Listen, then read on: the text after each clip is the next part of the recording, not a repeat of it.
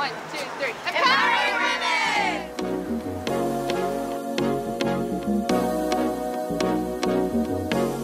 My name is Melissa Gaglione and I'm the president of Safety4Her. Safety for Her is a high visibility reflective clothing company made for women. Well, about six years ago, I started doing sales at my fiance's towing company. And there was different people that would come around and they would sell safety clothing. And I'm like, hey, you have a medium or a small in anything? And they're like, you'll never find that. I said, so what do the other women do? And he's like, nothing, they wear men's stuff. So I created the first pair of high visibility leggings that are patent pending.